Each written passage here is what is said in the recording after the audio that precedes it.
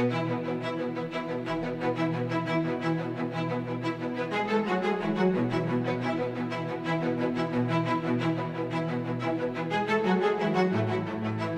we first told people that we wanted to replace plastics with mushroom materials, of course there were some eyebrows that were raised and questions about it. Uh, but if you think about it, we've been using natural materials in our homes, like wood, for a really long time. Why not tap the potential of mycelium?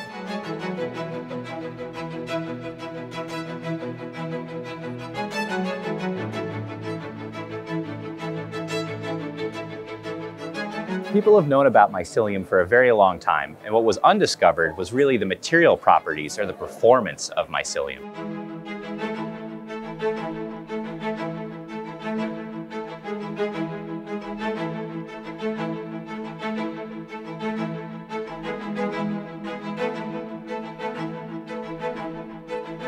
We take farm waste. We mix those raw materials together with a small amount of mycelium typically one to half a percent.